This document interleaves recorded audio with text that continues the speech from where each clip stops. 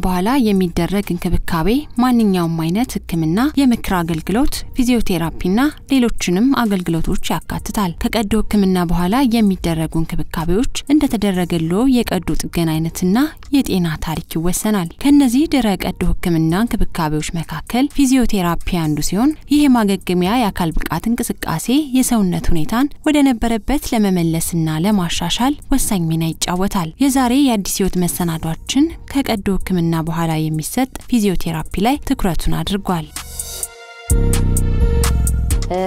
የ arthritis severe የሆነ arthritis ወይም የመገጣጠሚያ ብግነት ኖሮ replacement ወይም ደግሞ total hip replacement እና total knee replacement ወይም ደግሞ ንቅለ ተከላ የዳሌና የጉልበት ንቅለ ተከላዎች ከተደረጉ በኋላ ፊዚዮቴራፒ ያስፈልጋል። ይሄ ለምንድን ነው?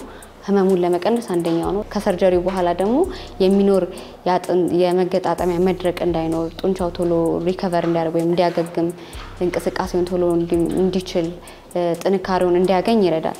ሌላኛው major surgery ደግሞ የሚባለው neurological surgery ወይም ደግሞ የነርቭ surgery ነው። የነርቭ surgery brain እና spinal cord ላይ ወይም ጭንቅላት ላይና አንጎል ላይና spinal cord ላይ የሚደረግ surgery ነው። ይሄ surgery ደግሞ ከተደረገ በኋላ ሰዎች ጥንካሬያቸው እንዲመለስ ይረዳል።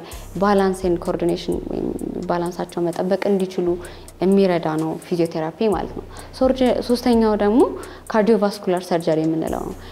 ትልልቅ የሆኑ የልብ bypass surgery ዎች የሚባሉ አሉ። እና እነዚህ bypass surgery ዎች ከተደረጉ በኋላ ሰውየው ወይም ሴትዮዋ አካላቸው በጣም ሊደክም ይችላል፣ እንቅስቃሴያቸው ሊገደብ ይችላል። እና እሱን ለመከላከል የምናደርገው የፊዚዮቴራፒ ሕክምና አለ።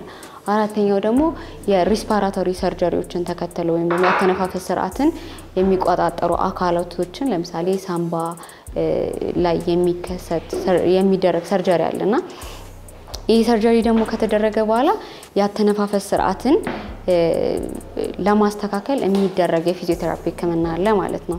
ከዛ በተጨማሪ የሆድ እቃ አካባቢ የሚደረጉ surgery ለምሳሌ hernia ሲኖር፣ bowel reconstruction surgery ዎች ሲኖሩ እነዚህም ህመሙን ለመቀነስ ሰውየው ጤነኛ እንዲሆን አቋሙ እንዲስተካከል ይረዳል። ከዛ በተጨማሪ ግን አንዳንድ ጊዜ ለምሳሌ የጡት ካንሰር ኖሯቸው ሰዎች ሊወጣ ይችላል። ስለዚህ ሙሉ በሙሉ ሊቆረጥ ይችላል እና እንደዛ surgery ዎች ሲደረጉ ትከሻ እንዳይንቀሳቀስ ለተወሰነ ጊዜ ይደረጋል። ከዛ በኋላ ትከሻው የመገጣጠሚያው ይደርቃል።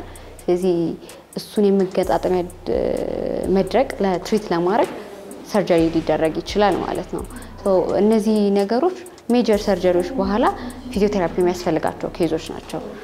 ለሁሉም ለብዙ በጣም ብዙ surgery ዎች በኋላ ሰዎች recovery time ይኖራቸዋል። የማገገሚያ ጊዜ ማለት ነው። ሰው ማገገሚያ ጊዜውን ተከትሎ የሚመጣ እንቅስቃሴ አለመኖር ሰውነት ላይ የሚያስከትለውን ችግሮች ለመቀነስ ወይም ለመከላከል ፊዚዮቴራፒ ግዴታ ያስፈልጋል።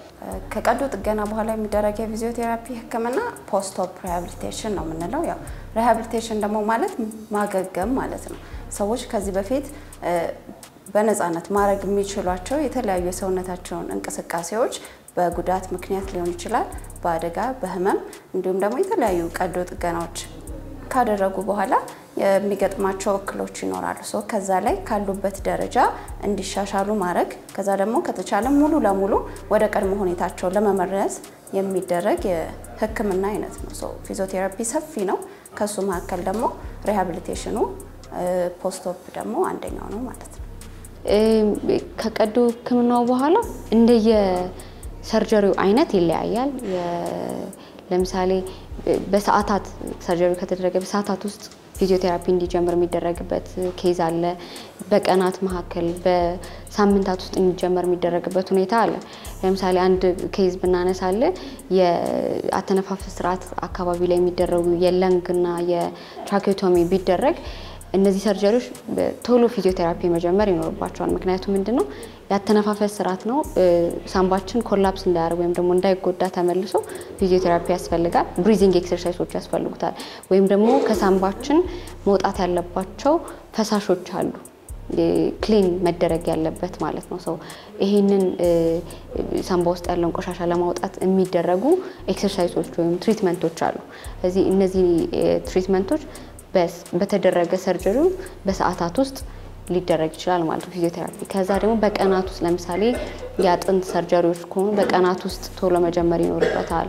በሳምንታት ውስጥ መጀመር ያለበት case ኦች ሊኖሩ ይችላሉ። ስለዚህ እንደየ ሁኔታው እንደ ሰው ከ surgery ው በኋላ ያለው አቋም ታይቶ ነው ፊዚዮቴራፒ የሚጀመረው። የፊዚዮቴራፒ ሕክምና commonly በደንብ የሚሰራው ምን ላይ ነው? የሰውነት እንቅስቃሴ ላይ ነው እና function ኦችን በደንብ improve ማድረግ ላይ ነው። ስለዚህ ማንኛውም በመገጣጠሚያ ላይ፣ በጡንቻ ላይ፣ በአጥንት፣ በነርቭ ላይ የሚከሰቱ እንዲሁም ጅማቶች ሊሆኑ ይችላሉ። አንዳንድ ሰውነታችን ላይ ያሉ soft tissue ኦች አሉ። እነሱ ላይ የሚደረጉ የትኛውም አይነት ቀዶ ጥገና ከዛ በኋላ ፊዚዮቴራፒ ህክምና ያስፈልገዋል ማለት ነው። አሁን ለምሳሌ ያህል መገጣጠሚያ አካባቢ ላይ ስናይ በስብራት ምክንያት ሊሆን ይችላል አጥንቱ።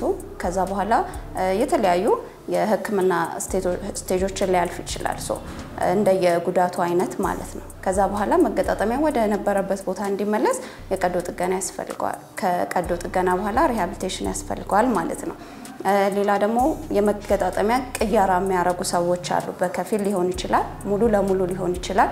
ወይ ደግሞ ውስጡ አካባቢ ላይ ያሉ የተለያዩ structure ኦች ጉዳት ከደረሰባቸው በኋላ surgery ተሰርቶላቸው ሊሆን ይችላል ማለት ነው። ከዛ በኋላ መልሶ ያህንን ስራ ለማግኘት የተሰራበትን ነገር መልሶ ለማግኘት ማለት ነው ፊዚዮቴራፒ ህክምና ያደርጋል ማለት ነው። መገጣጠሚያ ስንል ከላይ እስከታች ትንንሽ ሊሆኑ ይችላሉ፣ ትልልቅ የምንላቸውን ጉልበት፣ hip ሊሆን ይችላል፣ ትከሻችን ሊሆን ይችላል። ሁሉም አይነት መገጣጠሚያ በተለይ ደግሞ መገጣጠሚያና ለመገጣጠሚያው ቅርብ የሆኑ ከሆኑ እነሱ አካባቢ ላይ ከህክምናቸው በኋላ ፊዚዮቴራፒ ማድረግ አለባቸው ማለት ነው። ሌላኛው ደግሞ soft tissue ኦች አሁን ለምሳሌ ጡንቻችን ሄዶ ከአጥንቱ ጋር የሚያያዝበት tendon አለ። ሶ እነሱ ላይ አሁን ለምሳሌ መበጠስ ሊገጥመው ይችላል፣ rupture ጅማቶች ደግሞ complete የሆነ tear ሊያጋጥማቸው ይችላል። በተለይ ስፖርታዊ እንቅስቃሴዎች ላይ ከተሳተፉ ሰዎች ወይም ደግሞ በአደጋ ምክንያት ሊሆን ይችላል። ስለዚህ እሱን መልሶ ማያያዝ እንዲገጥም ከተደረገ በኋላ ወደ ስራው እንዲመለስ ፊዚዮቴራፒ ያደርጋል ማለት ነው። ሌሎች ደግሞ በአንጎላችንና ህብለሰረሰር እንዲህ spinal cord አካባቢ የሚሰሩ የቀዶ ጥገና አይነቶች ይኖራሉ። በእጢ ምክንያት ሊሆን ይችላል፣ በስትሮክ ምክንያት፣ በተለያየ አይነት ምክንያት ከተሰራልን በኋላ እዛ አካባቢ ያህንን ነገር ተከትሎ ምን ይፈጠራል? የሰውነት የአንድ ጎን መዛል ሊሆን ይችላል፣ weakness አቅም ማጣት፣ ጡንቻዎች መድከም ይመጣሉ። እነዚህ balance ማጣት፣ coordination እነሱ እነሱ ነገሮች እንደ አዲስ መማር ይኖርባቸዋል ማለት ስለዚህ ያህንን ማነቃቃትና ወደዛ ነገር እንዲመለስ ለማድረግ ፊዚዮቴራፒ ያስፈልገዋል ማለት ነው። አንዳንድ ጊዜ ደግሞ ብዙውን የሆነ የሰውነታችንን ክፍል ያቃጠለን አይነት የእሳት አደጋዎች ምናምን ኬሚካልም ሊሆን ይችላል። እንደሱ አይነት ነገሮች ካጋጠሙ በኋላ ብዙ የሕክምና stage ኦችን ያልፋሉ። ሶስቱን ከጨረሰ በኋላ ግን ሰውየው ጠባሳው ያ ነገር መገጣጠሚያዎችን የሚያልፍ ከሆነ ጨምድዶ የመያዝ እንዲሁም አንዳንድ ጉዳቶችን የማስከተል ነገር አለው። so በመጠኑ በደንብ የመለጠጥ አቅሙን ጠብቆ እንዲድን ደግሞ scar ኡ እንደዛ እንዲሆን ፊዚዮቴራፒ ሕክምና ቢያደርጉ የተሻለ ነው ማለት ነው። ከአጥንት surgery ዎች ጋር ተያይዞ የንቅለ ተከላዎችን ተከትሎ ይመጣሉ። ከስብራት በኋላ ይመጣሉ፣ ወይ ደግሞ ጅማቶች ተበጥሰው ይመጣሉ። ከተበጠሱ በኋላ surgery ከተደረገላቸው በኋላ ይመጣሉ። ሲመጡ የምናደርግላቸው ነገሮች የተለያዩ ነገሮች ናቸው፣ እንደ ሰው ማለት ነው። ለምሳሌ ሁሌም ከምናደርግላቸው ቅድም ስንጠቅሰው የነበረው ፊዚዮቴራፒ ህክምና የሚጠቀማቸው የተለያዩ technique ኦች አሉት። ከነዛ መካከል አንደኛው therapeutic exercise ነው። exercise መሰረት ያደረገ ህክምና ነው የሚሰጠው ለሁሉም ታካሚ። therapeutic exercise አለ። ከዛ ደግሞ manual therapy የምንለው አለ። ወይም ደግሞ በእጃችን hands techniques ወይም ደግሞ እጃችን ተጠቅመን የምናደርግላቸው የተለያዩ manipulation ኦች፣ mobilization ኦች፣ soft tissue mobilization ኦች የሚባሉ የተለያዩ technique ኦች አሉ። እነሱን በመጠቀም ልንሰራላቸው እንችላለን። እንደ የሰው ደግሞ አስፈላጊነቱን በማየት የምንጠቀማቸው ማሽኖችም አሉ። ለምሳሌ ነርቭ ለተጎዳ ሰው ነርቭን ለማነቃቃት የነርቭ ማነቃቂያ nerve stimulation የምንለው ማሽን አለን። እሱን እንጠቀማለን። ህመም ላለባቸው ሰዎች ደግሞ ህመሙን ለመቀነስ የአልትራሳውንድ ህክምና ሊሆን ይችላል ወይ laser therapy ሊሆን ይችላል፣ infrared therapy፣ short wave therapy ሊሆን ይችላል። እነዚህን ነገሮች እንጠቀማለን። ከዛ ደግሞ እንደ ሰው ደግሞ pain management ኦች አሉ። ለ pain ህመሙን ለመቀነስ የምንጠቀማቸው የተለያዩ technique ኦች ለምሳሌ የ cupping therapy ወይም ደግሞ የዋገምት ህክምና ሊሆን ይችላል፣ የደረቅ መርፌ ህክምና ሊሆን ይችላል። እነዚህ ነገሮች እንጠቀምላቸዋለን። ከዛ በተጨማሪ ደግሞ የተለያዩ training ኦች አሉ። surgery ውን ተከትሎ ለምሳሌ አንድ ሰው balance and coordination ባይኖረው balance ኡን መጠበቅ ቢያቅተው የእነዚህን balance coordinate ማድረግ training ኦች አሉ። አንዳንዴ ደግሞ ለጤነኛ ሰዎች በጣም ቀላል የሆኑ ለታማሚ ግን ከባድ የሆኑ በተለይ surgery ካደረጉ በኋላ ከባድ የሚሆኑ ነገሮች አሉ። ለምሳሌ አንድ ሰው በጤነኛ ሁኔታው መቀመጥ ቀላል ነው፣ መቆም ቀላል ነው፣ መነሳት፣ አልጋ ላይ መገላበጥ በጣም ቀላል ናቸው። እነዚህ functional exercise ነው የምንላቸው እና ለ surgery ላደረገ ሰው ደግሞ ይሄ በጣም ከባድ ነው የሚሆነው። even በእገዛ ሊያደርጉት ይችላሉ። ስለዚህ የእነዚህን functional training ኦች training ኦችን እንሰጣቸዋለን ማለት ነው። አብዛኞቹ የፊዚዮቴራፒ ህክምናዎች ቶሎ medical የሆኑ ነገሮቻችንን ከጨረስን በኋላ በተለይ ከቀዶ ጥገናዎች ክትትል በኋላ ቶሎ ቢጀመሩ ይመከራል። ምክንያቱም የተሻለ ለውጥ ለማምጣት ወይም ደግሞ ለውጡ የተሻለ እንዲሆን ፊዚዮቴራፒው በጊዜ ቢጀመር ነው።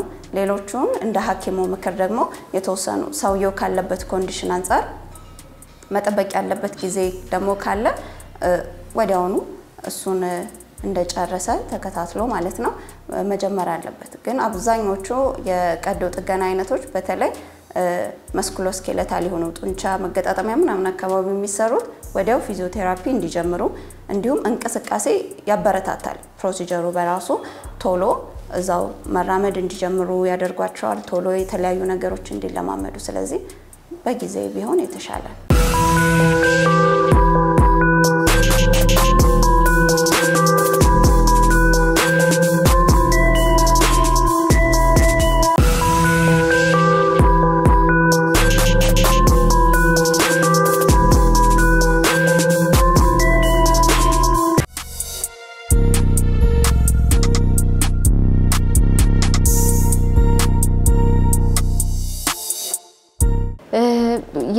የፊዚዮቴራፒ ህክምና ጥቅሙ አንደኛው እንደ እንትኑ ቢለያይም እንደ የተደረገለት surgery ሰውየው የሚፈልገው መጨረሻ ላይ ማሳካት የሚፈልገው ነገር ከዛ ደግሞ የፊዚዮቴራፒው አስፈላጊነቱም ይለያያል።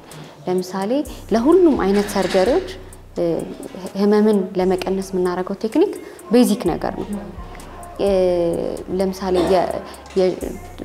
ሳምባ አካባቢ የሚደረጉ surgery ዎችን ላደረገ ሰው የአተነፋፈስ ስርዓትን improve የሚያደርግ breathing exercise ኦች ይኖራሉ ግዴታ። እነዚህ ነገሮች እንጠቀማለን። ከዛ በተጨማሪ የፊዚዮቴራፒ ጥቅሙ ግን ምንድን ነው? ህመም ማስታገስ እንዳለ ሆኖ አንደኛ circulation system ወይም ደግሞ የደም ዝውውርን ስለሚጨምር የ healing process ወይም ደግሞ የመዳን አቅምን ቶሎ እንዲጨምር ያደርጋል የሰውነታችንን። ሰዎች ወደ ነበረ አቋማቸው እንዲመለሱ ወይም ደግሞ ለምሳሌ ስፖርት activity ላይ engage ያደረገ ወይም ስፖርታዊ እንቅስቃሴዎች ላይ professional አትሌቶች ሊኖሩ ይችላሉ። ከ surgery ው በኋላ ተመልሰው ቶሎ ወደ athletic እንትናቸው መግባት አለባቸው። ስለዚህ እነሱን ወደዛ ሂደት የሚያስገባ መሆን መቻል አለበት። ህመም መቀነስ አለበት። improve ያደርጋል። አቋሙን እንዲመለስለት ያስችለዋል ማለት ነው የፊዚዮቴራፒ ህክምና። ፊዚዮቴራፒ አንድ ሰው ሲያደርግ ከቀዶ ጥገና በኋላ ከሆነ እንደየ stage ኡ የተለያየ ነው ማለት ነው። ለምሳሌ መጀመሪያዎቹ አካባቢዎች ላይ pain ኑ እንዲቀንስ ለማድረግ እብጠቶች ሊኖሩ ይችላሉ። ቦታው ላይ ቁስለት ሊኖር ይችላል። እንደየ procedure ሩ የተሰራንበት ቦታ ላይ scar ኦች ሊኖሩ ይችላሉ። ስለዚህ እነዛ ነገሮች እንዲድኑ ማድረግ ነው። ቀስ እያለ እንዲድን ማድረግ healing process ኡ እንዲፈጥን ማድረግ ነው የመጀመሪያው stage ማለት ነው። እሱን እያለፍን ከመጣን በኋላ የተሰራው ቦታ መገጣጠሚያ ሊሆን ይችላል ወይ ነርቭ ሊሆን ይችላል፣ ጡንቻ ሊሆን ይችላል። እንቅስቃሴውን መልሶ እንዲያገኝ ማድረግ በተለይም range of motion ላይ በደንብ ራሱን መልሶ እንዲያገኝ ከዛ የመተጣጠፍ አቅሙ እንዲጨምር ጥንካሬው እንዲመጣ ከዛ በኋላ ደግሞ step በ step specially የ competitive የሆኑ ስፖርታዊ activity ዎች ላይ የሚሳተፉ ሰዎች ደግሞ ወደዛ ድረስ እስኪደርሱ ድረስ እሱን ማስቻል ለሌሎች ማህበረሰቦች ደግሞ ለማንኛውም ሰው ደግሞ በየቀኑ የሚያደርጋቸውን activity ዎች easy መሆን ስላለባቸው እነሱ እንዳለ attain እስኪያደርግ ድረስ እስኪጨርስ ድረስ ፊዚዮቴራፒውን ማድረግ አለበት። ስለዚህ ጥቅሞቹ እነዚህ ይመስላሉ ማለት ነው። ያው በጊዜ ደግሞ አንድ ሰው ፊዚዮቴራፒ ሕክምና ካላገኘ ምንድን ነው የሚፈጠረው? ጥቅሞቹ ይዘገዩበታል ወይም ማግኘት ማድረግ የሚችለው ነገር ወደኋላ ይላል ማለት ነው። ቆንጆ የሚባል ቀዶ ጥገና surgery ካደረገ በኋላ ውስጥ ላይ ምንም አይነት ችግር ሳይኖር ከ procedure ሩ ምናምን ጥሩ ነገር ኖሮ ቶሎ ወደ ህክምና ባለመምጣታችን ምክንያት stiff ይሆናል፣ መገጣጠሚያው ይደርቃል። ከዛ disability ዎች ያመጣል። ወይ እዛው ላይ stuck ማድረግ ሊሆን ይችላል። ሙሉውን እንደ ማግኘት እንደሚችለው አያገኝም ማለት ነው። ለምሳሌ ሙሉ መተጣጠፍ መታጠፍ መዘርጋት ማግኘት የሚችል ከሆነ በዘገየ ቁጥር stiff እየሆነ ከመጣ ይቀንስበታል ማለት ነው። ሌላ ደግሞ ቦታው ላይ መጓጎል፣ የህመም ስሜቶች መሰማት፣ ለረጅም ጊዜ ደግሞ ከሆነ ያላደረግነው ማድረግ እያለብን ማለት ነው። ይሄኔ ዱላ ሳያስፈልገው walk ማድረግ የሚችል ሰው ቢ በዱላ ማነከስ፣ ሌሎች ሌሎች ነገሮችን አብሮ experience እያደረገ ይቆያል ማለት ነው። ስለዚህ result ኡ እየዘገየበት ይመጣል። እንደ ሰው ነው እሱ የሚለያየው ማለት individualized ነው treatment ኡም የእያንዳንዱ ሴት የአንድ ሰው case ከሌላኛው case even ተመሳሳይ surgery ዎችን አድርገው ለ treatment ኡ የሚሰጠው response ማለት ሰውየው respond የሚያደርግበት rate ይለያያል። የ surgery ው አይነት፣ የሰውየው ከ surgery በኋላ ያለው አቋም፣ እድሜው በጣም ብዙ ነገር matter አድርገው ሳለ ግን ምንድን ነው phase ኦች አሉት። በተቻለ መጠን በቶሎ መጀመር አለበት። ሲጀመር ግን የመጀመሪያ phase ላይ አሁን ለምሳሌ acute phase እንለዋለን። ፊዚዮቴራፒ የሚጀመርበትን acute phase ምንለው ከሰዓታት እስከ ቀናት ያሉ ጊዜያት የሚፈጅ ነው። በዚህ ጊዜ ውስጥ early mobilization ቶሎ እንቅስቃሴ እንዲጀምሩ፣ ቁስል ካለ ቁስሉ ቶሎ እንዲድን፣ አተነፋፈስ ስርዓት ለማስተካከል position ማድረግ እነዚህ ነገሮች ሊሆኑ ይችላሉ። sub phase ደግሞ የምንለው አለ። sub phase ላይ ደግሞ usually ጥንካሬውን እንዲያገኝ ሰውየው ጥንካሬ ከሌለው ጥንካሬውን እንዲያገኝ ይሆናል። የቀንን ቀን እንቅስቃሴዎቹን ማድረግ እንዲችል ሊሆን ይችላል የምናደርጋቸው ማለት ነው። ሶስተኛው phase ላይ ደግሞ rehabilitation phase እንለዋለን። rehabilitation phase ላይ ደግሞ maximize ማድረግ ወይም ደግሞ የበለጠ ማድረግ maintenance phase እንለዋለን። maintenance phase ላይ ደግሞ ያለው ምንድን ነው?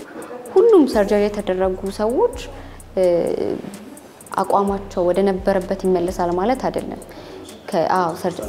ላይሆን ይችላል። ለምሳሌ አንዳንድ ነገሮችን ብነግር paralysis ወይም ደግሞ paralyze የምንላቸው case ኦች አሉ። ለምሳሌ አንድ ሰው paralyze ከሆነ quadriplegia የምንለው case አለ። quadriplegia የምንለው ምንድን ነው?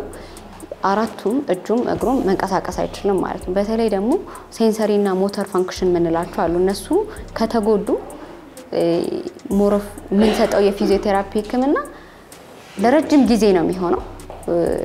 ከዛ ደግሞ improve ለማድረግ አይደለም እንዲንቀሳቀስ function እንዲሆን ምናምን ብቻ አይደለም የምናደርገው complication ኦችን prevent ለማድረግ ነው። ለምሳሌ ረጅም ጊዜ ከመተኛት የተነሳ የደም ዝውውሩ ይጎዳና ቆዳው መቁሰል ይጀምራል። ጡንቻው ulcer pressure sore ወይም ደግሞ pressure ulcer እንለዋለን እና እንደሱ አይነት ነገሮች እንዳይከሰቱ rehab ወደ እንቅስቃሴያቸው ለመግባት factor ኦች አሉት። የመጀመሪያው ምን አይነት structure ነው የተሰራልን የሚለው ነው። እሱ ምንድን ነው? ለምሳሌ ሁሉም እንደሚሰራልን ቦታ የተለያየ አይነት ጊዜ የሚፈጁ ነገሮች አሉ ሰውነታችን ውስጥ ማለት ነው። ጡንቻ የራሱን ጊዜ ይፈልጋል። ጅማቶች የራሳቸውን time table ኣቸው የተለያየ ነው እና ደግሞ የሚሰራልን procedure ምን አይነት ነው የሚለውም ይወስነዋል። ቶሎ እንቅስቃሴን የሚያበረታቱና ውጤታቸው ጥሩ ይሆናል። እንዲሁም ደግሞ እንዳልኩ ጊዜ የሚፈልግ ይኖራል። ሌላኛው ደግሞ ምንድን ነው የሰውየው ከኦፕሬሽን ከመግባቱ በፊት የነበረው የ fitness level ይወስነዋል። የብቃቱ ማለት ነው፣ የጥንካሬ መጠኑ፣ ከዛ ደግሞ እድሜ፣ ሌላ ተጓዳኝ በሽታዎች አሉባቸው ወይ ሌሎች healing process ኡን የሚያዘገዩ ሌሎች ተጓዳኝ በሽታ አለባቸው ወይ የሚሉት factor ኦች ናቸው። ከዛ በዘለለ ግን እንደየ case ኡ የተወሰኑ ጊዜዎች አሉ። so የተወሰኑ ሳምንታት እስከ አንድ ወር ድረስ የሚፈልግ ከአንድ ወር እስከ ሶስት ወር ድረስ የሚፈልጉ ይኖራሉ። ከስድስት ወር ደግሞ እስከ አንድ ዓመትና ከዛም በላይ የሚያስፈልጋቸው ይኖራሉ ማለት ነው። በተለይ ወደ ውድድር ለመመለስ ከሆነ still የ fitness level ኡ የጨመረ መምጣት አለበት። እንደዚህ ረጅም ጊዜ ይፈልጋሉ። ሌሎች ደግሞ neurological የሆኑ ነገሮች ከሆኑ ከ brain ና ከአንጎላችንና ከ spinal cord ኣችን ጋር የተያያዘ ነገር ከሆነ ደግሞ ከዛም በላይ የሆነ ጊዜ ሊፈጅ ይችላል። complete recovery ላይኖረው ስለሚችል በየ step ኡ መስተካከል ያለባቸው ነገሮች ያስተካከሉ እና ደግሞ ጎላችን ሌላው ጎላችን ምንድን ነው፣ ከ surgery በኋላ ምንድን ነው expect የምናደርገው የሚለው ነገር ይወስነዋል። ጡንቻው ቀጭን የመሆን ወይም ደግሞ እንደዛ ይሆናል እና ጡንቻው እንደዛ እንዳይሆን እንዳይቀጥን፣ እንዳይከሳ፣ መገጣጠሚያው እንዳይደርቅ እንደዚህ አይነት ነገሮችን ነው። breathing ኡ impaired እንዳይሆን፣ circulation system ኡ impaired እንዳይሆን ነው የሚሆነው ማለት። ስለዚህ ይሄ maintenance phase እንለዋለን። በአጠቃላይ ፊዚዮቴራፒ አሁን ላይ rehabilitation ን በጣም የማገገም ስርዓትን በጣም የሚያፋጥን ነገር ነው። ስለዚህ ለውጡ አንዳንድ ጊዜ በጣም በቶሎ ይመጣል፣ አንዳንዴ ደግሞ ቀስ እያለ የሚመጣባቸው case ኦች አሉ። ስለዚህ በተቻለ መጠን ፊዚዮቴራፒ ሐኪሞቻቸው ጋር ሰዎች እያወሩ ለውጣቸውን በዛ መሰረት progress እያደረጉ every time ሲመጡ ሰዎች ለውጥ ይኖራቸዋል። አንዳንዴ ደግሞ ለውጥ ለማየት ረጅም ጊዜ የሚያስፈልግበት ጊዜ አለና ተስፋ ሳይቆርጡ ፊዚዮቴራፒስቶቻቸውን እያማከሩ የሚሰጣቸው የተለያየ ሕክምና አይነት አለ። exercise therapy እና ሌሎች manual therapy ዎች ይኖራሉ። even advice ኦች ወይም ምክር አገልግሎቶች ይኖራሉ። training ኦች ይኖራሉ። እነዛን ነገር ሁሉ ሐኪማቸው በሚላቸው መልኩ ቢያደርጉት ለእነሱም ዙሪያቸውም ላለው ሰው ነገሮችን ማቅለል ይችላሉ እና ፊዚዮቴራፒ በጣም ብዙ ዘርፈ ብዙ ጥቅም ነው ያለው።